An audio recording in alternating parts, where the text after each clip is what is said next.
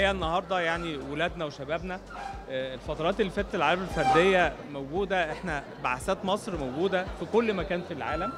آه، وراها طبعا وزارة الشباب والرياضة الحقيقة إحنا آه، ورا تخطيط لمنتخباتنا طالعين من من تحت لفوق في الأعمار السنية في لجنة علمية محترمة دور قطاع الرياضة دورنا الحقيقة دور رؤساء الاتحادات رؤساء الاتحادات ليهم دور كبير جدا آه، في التعامل والتعاون بشكل كبير. زي ما شفنا النهارده تكريمنا لمنتخب مصر للجودو اللي إحنا في gap ما بين جيل خلص وجيل بيبدأ بيه فاحنا بنبدأ تاني.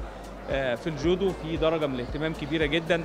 آه، إحنا اولادنا راحوا جابوا للشباب وللناشئين بطوله أفريقيا كلها لكن عينينا إن شاء الله 2028 بهذه الأجيال آه، التايكوندو آه، يعني آه، على طول آه، البطولات اللي فيها ranking عالمي والجائزه الكبرى آه، الكونغ فو. وده إحنا بنخطط لأن الأولمبياد الشباب في 2026 هيكون الكونغ فو ممثل ممثل فيها لكن عندنا بطولات العالم.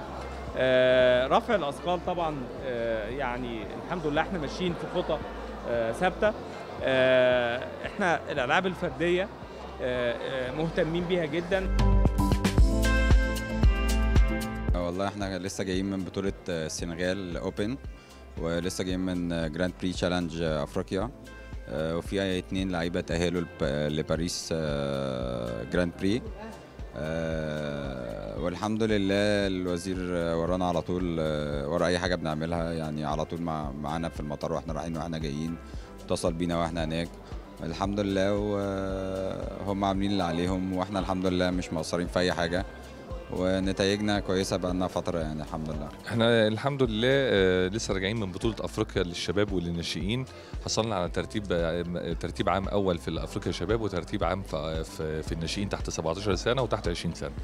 فالنهارده التكريم ده حاجة عظيمة جدا وحاجة مهمة جدا للولاد ولينا إن الوزير يكرم ويشوف المجهود اللي اتعمل آه، آه، الفترة السابقة يعني في الشهرين ونص اللي فاتوا دول في المعسكر المغلق إحنا كنا فيه كنا عاملين معسكر مغلق ما بين ثلاث ثلاث منتخبات 17 و20 والرجال وكنا لا يقل عن 80 واحد في التمرين وكان وكان معسكر مغلق والحمد لله أثمر على نتيجه كويسة. الحمد لله لسه واخد أول أفريقيا فردي وفرق.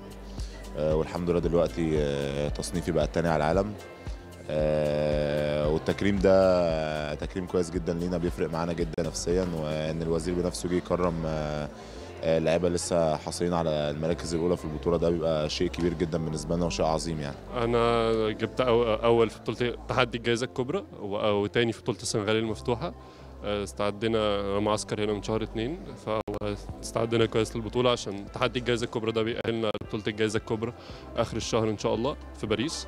آه، ودي بطولة مهمة جدا ب 60 نقطة يعني. آه، والتكريم النهارده حلو جدا إن شاء الله. يعني هو ده تكريم معتاد من الدولة المصرية متمثلة في وزاره الشباب والرياضة ومعالي الدكتور أشرف صبحي وزير الشباب والرياضة. آه، الدكتور أشرف يعني بيعتبر من يعني فعلا يعني زي ما بيقولوا كده آه، آه، في المنصب ال- المظبوط لأن هو طبعا بطل راجل تربوي دكتور تربية رياضية ثم رجل دولة. فالحقيقة هو متعود على طول على تكريم الل- اللاعبين تكريم اللاعبات تكريم أي فريق بيعمل إنجاز لمصر. موجود معانا حاضر معانا باستمرار. بشكر سيادة الوزير أشرف صبحي على تكريمه لنا النهاردة. وبصراحة كلنا انبسطنا جدا.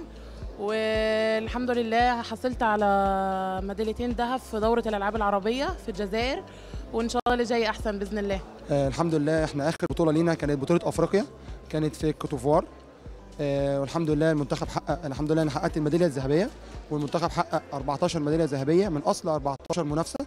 الحمد لله العلامه الكاملة ودي يعتبر من أول البطولات اللي المنتخب يحقق فيها العلامة الكاملة بدون خسارة. والحمد لله إحنا بنجهز دلوقتي البطولة ال- الأصلية أو البطولة الأهم لينا هي بطولة العالم في أمريكا إن شاء الله آه شهر 11 القادم.